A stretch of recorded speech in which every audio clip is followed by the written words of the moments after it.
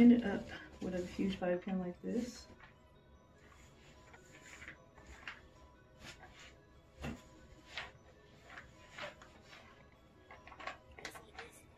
Okay, just make sure you don't do it too tight so it won't pull. So just kind of give them a tug, make sure they're not too tight because you will feel that.